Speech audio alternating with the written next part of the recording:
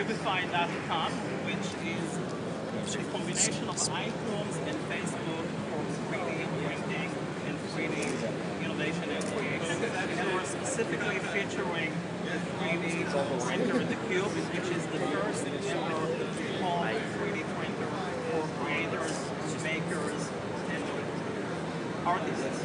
What is the current technology that you're doing 3D printing? What is? The current technology here is what we call plastic jetting. The continuous printing of plastic filament one layer at a time in an additive fashion where we're basically printing material and fusing it to the previous layer to create a real physical object like this nano wrist that I'm wearing actually on my wrist, the nano holder, which was completely printed on cube. So, what is the, the material made of? The material here is ABS plastics, but it could be PLA, it could be uh, polyethylene. PLA is polylactic acid, which is a completely biodegradable plastic. Uh, this is real ABS, and it could be a variety of other plastics. We can also print in powders. And uh, then go to the next part of whatever you're demonstrating. So there are lots of practical uses here uh, and some creative uses. Practical uses could be anything that you want to customize or take your ride or your motorcycle.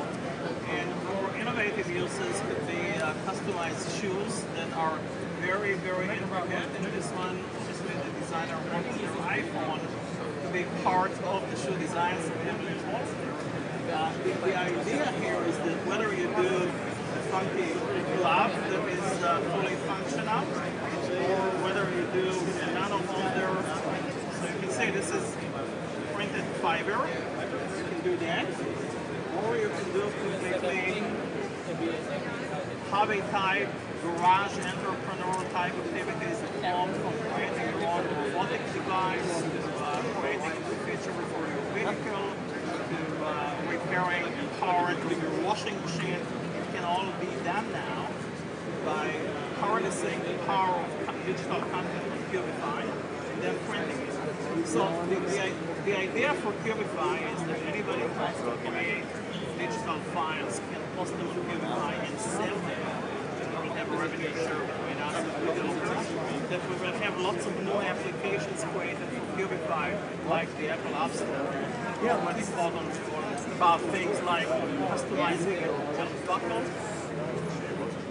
recording your voice and creating geometries for the frequency, the wavelength of your voice, creating special cookies for moms that want to make something special, taking 2D pictures and replicating them into 3D images that could be printed, and so uh, you don't have to be a designer or an engineer.